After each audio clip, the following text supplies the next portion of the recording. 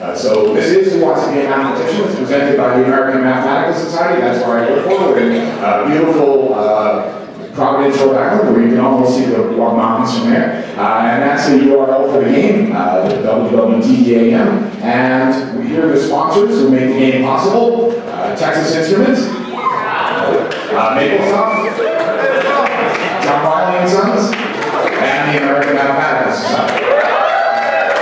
These are the prizes that we're doing. So fourth place each game We'll get two books from the AMS, Mathematics Everywhere. Uh, that's not the title of the latest horror movie. Uh, and What's Happening in Mathematical Sciences, Volume 9. So there's two very nice books. The first one uh, tells you, you know, where math is used, and it does come up in lots of places, virtually everywhere. And then the next one tells you very recent developments in mathematics, and it's the ninth volume in that series.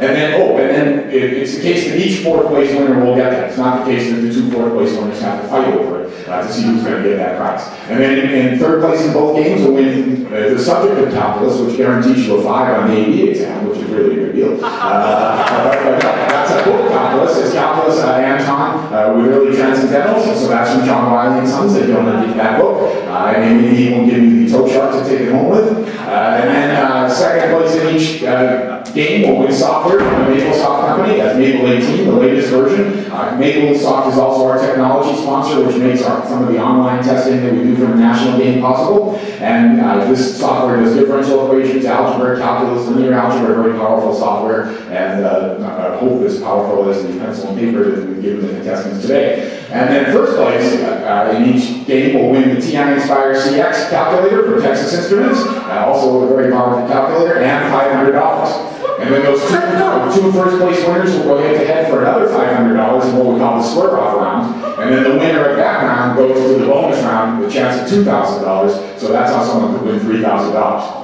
And what, what, you want to do is figure out the person in the t-shirt most likely, who wants to be a mathematician t-shirt, most likely to win uh, the $3,000 and then become good friends with them in the next half hour or so.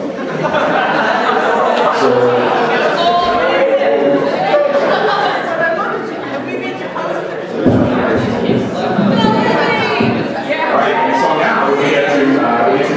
contestants we have contestants for game one are right here. Now better order, we have Aaron